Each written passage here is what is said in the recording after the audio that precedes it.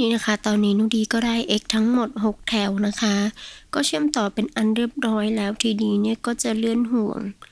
ไปทั้งหมด 6 หลักนะคะ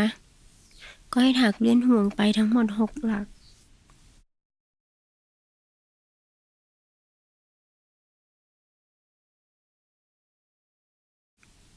ทีนี้ก็กลับด้านงานนะคะ พอกลับด้านงานแล้วเนี่ยให้เราถัก x นะคะ ไปทั้งหมด 12 หลักก็คือถักย้อนไป 6 หลักที่เราเลื่อนห่วงมาแล้วก็ถักเลยไปอีก 6 หลักให้เป็นทั้งหมด 12 หลักนะคะ ถัก x นะคะไปทั้งหมด 12 หลัก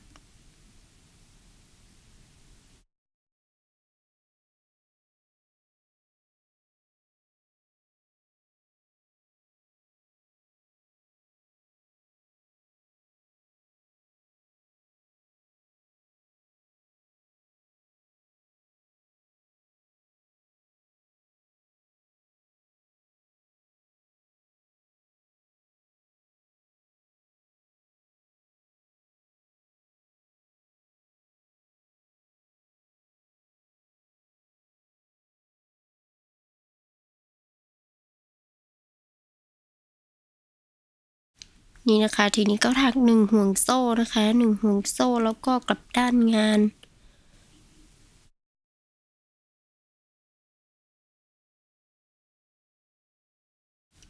ทีนี้ก็จะทำการรวบสองหลักแรกนะคะ สอดเข้าไปในหลักแรกดึงไหมขึ้นมานี่นะคะ แล้วก็สอดเข้าไปในหลักที่สองดึงไหมขึ้นมาสามเส้นบนเข็มก็รวบไหมผ่านสามเส้น นี่นะคะ รวบ สองหลักแรกตรงนี้ ทีนี้ก็ถัก x ปกติไปนะคะ แล้วก็เราจะรวบอีกสองหลักสุดท้ายนะ ก็ให้เราถัก x ไปให้ถึง ใกล้จะจบเว้นไว้สองหลักที่เราจะรวบเลยนะคะ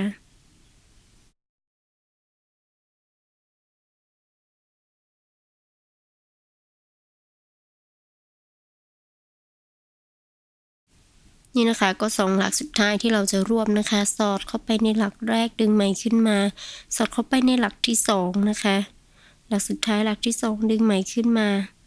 ก็จะได้สามเส้นบนเข็มก็รวบไหมผ่านสามเส้นนะคะ ทีนี้ก็หนึ่งห่วงโซ่กลับด้านงาน นี่นะคะ ทีนี้เราก็จะรวบอีกนะคะ ในแถวที่สองนะเราจะรวบทั้งหมดสี่แถวนะคะ นี่นะก็หลักแรกสอดเข้าไป หลักที่สองสอดเข้าไปสามเส้นบนเข็มรวบ แล้วก็ถัก x ไปให้ถึงปลาย เว้นไว้สองหลักสุดท้ายที่เราจะรวบนะคะนี่นะ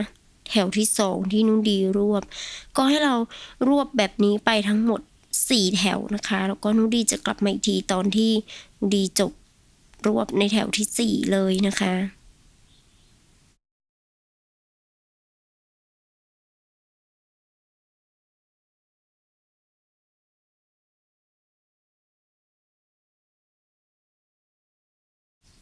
นี่นะคะ ตอนนี้นุดีก็รวบในแถวที่สี่นะคะสองหลักสุดท้ายในแถวที่สี่ของนุดีเสร็จดึงห่วงโซ่กลับด้านงาน นี่นะคะ กลับด้านงานก็จะเป็นในแถวที่ห้าของเราแล้ว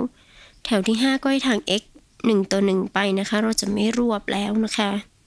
นี่นะก็ให้ทาง x หนึ่งต่อหนึ่งไป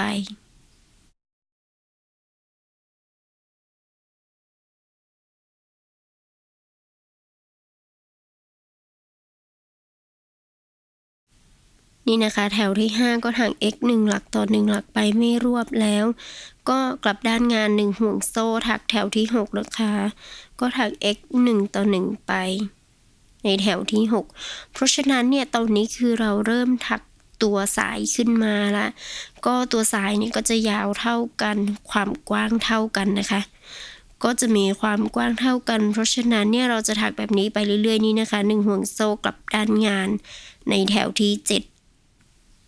ก็จะยังเท่ากันแถวที่ 7 ก็จะเท่าแถวที่ 5 แล้วก็จะถักไปเรื่อยๆ ให้เราได้ความยาวสายกระเป๋าที่เราต้องการเลยนะคะ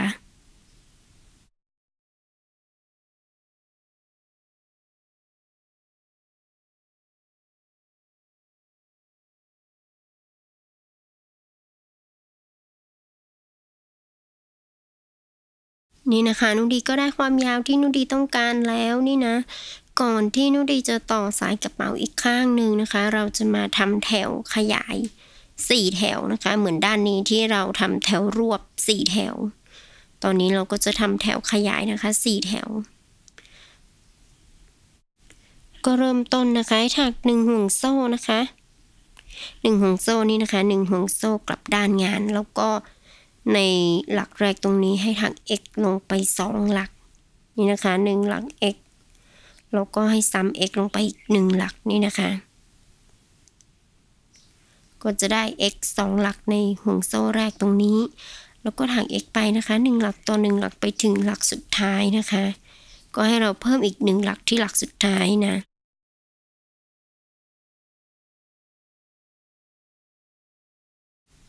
นี่นะคะก็มาถึงหลักสุดท้ายตรงนี้นะคะ นุดีจะถัก x ลงไป 2 หลักนะคะ เพื่อเป็นการขยายแถวนะ นี่นะคะ ก็ x หลักที่ 2 ของนุดี ทีนี้ก็ถัก 1 ห่วงโซ่นะคะแล้วก็กลับด้านงานนี่นะคะแล้วก็เราจะยังขยายอีกในแถวที่ 2 เพื่อให้ได้ทั้งหมด 4 แถวนะคะ ก็หลักแรกให้ถัก x ลงไป 2 หลักนะคะ ตอนนี้เราก็อยู่ในแถวที่ 2 แล้วให้เราถักทั้งหมด 4 แถวนะคะแล้วก็นุดีจะกลับมาอีกทีตอนที่จบแถวที่ 4 เลยนะคะ นี่นะก็ใกล้เคียงแล้วใกล้จะเหมือนแล้วนี่นะ นี่นะคะจบแถวที่ 4 แล้ว ก็เราจะทำการเชื่อมต่อกับตัวกระเป๋านะคะ ให้เราพับครึ่งกระเป๋า เพื่อให้ความชัวร์ก็ให้เรานับนะคะ นับไปถึงว่าตรงไหนคือครึ่งของทั้งสองข้างนี่นะ ก็ให้พับครึ่งแบบนี้แล้วก็นับ นับมา จนถึงตรงกลางนี้ แต่ว่าถ้าไม่นับก็พับเหมือนนูดีนะคะ แล้วก็ให้ดูว่าห่วงโซ่ตรงไหนคือตรงกลาง เราก็จะทำการเชื่อมต่อเลยนี่นะคะ ก็นับไปถึงตรงกลางแล้วก็ให้นับกลับมานะคะ ทั้งหมด 12 หลักนะ เราก็จะนับข้างละ 6 6 นี่นะคะ ก็ของนูดีเนี่ยข้างนี้ก็จะเป็น 6 แล้วก็อีกข้างหนึ่งจะเป็น 6นูดีก็จะมาเชื่อมต่อกับตรงนี้นี่นะคะ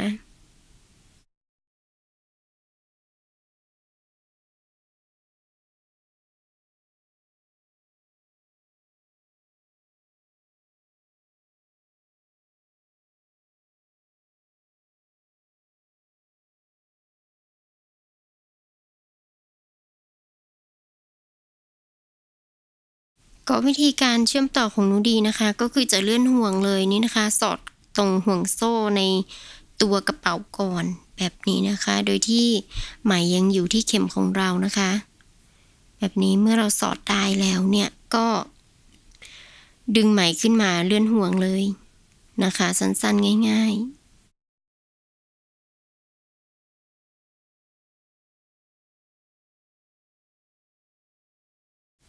นี่นะคะ ก็ให้เลื่อนห่วงไปถึงปลายอีกด้านหนึ่งเลยนี่นะคะ ก็เราจะได้ทั้งหมดโดยประมาณ 12 หลักนะคะ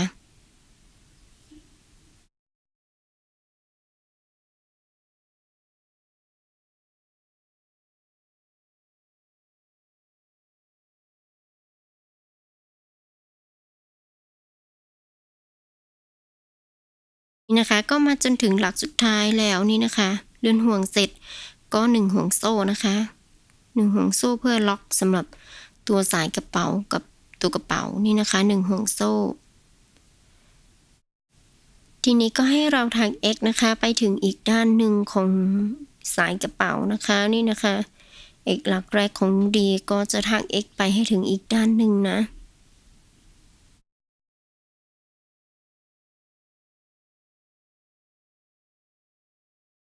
นี่นะคะก็มาถึงหลักสุดท้ายมาถึงปลายอีกด้านหนึ่งนะคะ ที่ตอนนี้เนี่ยเราจะถักปก ก็ให้ถักหนึ่งห่วงโซ่นะคะ แล้วก็กลับด้านงานนะคะสำหรับปกของกระเป๋านะนะคะหนึ่งห่วงโซ่กลับด้านงานแล้วก็ให้ถัก x หนึ่งต่อหนึ่งไปนะคะ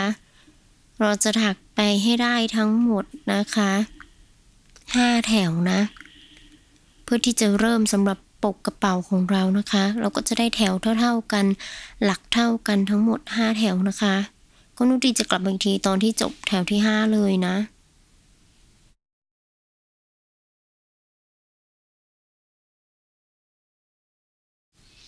นี่นะคะ ตอนนี้นุดีก็จบ x ทั้งหมด 5 แถวของนุดีนะคะ ที่เราถักหลักเท่าๆกันนะคะ ทีนี้เนี่ยก็จะถัก 1 ห่วงโซ่นะคะ แล้วก็กลับด้านงานในแถวที่ 6 ทีนี้เนี่ยในแถวที่ 6 เนี่ยเราจะเริ่มมีการรวบนะคะ ก็เราจะรวบ 2 หลักแรกนะคะ หลักที่ 1 ตรงนี้สอดเข้าไปดึงไหมขึ้นมา แล้วก็หลักที่ 2 นะคะ สอดเข้าไปดึงไหมขึ้นมาจะได้ 3 เส้นบนเข็มก็รวบไหมผ่านทั้ง 3 เส้นนะคะ แล้วทีนี้เนี่ยก็จะถัก x ไปให้ถึงปลาย แล้วเราก็จะรวบ 2 หลักสุดท้ายนะคะ ตอนนี้เราอยู่ในแถวที่ 6 ของตัวปกกระเป๋านะคะ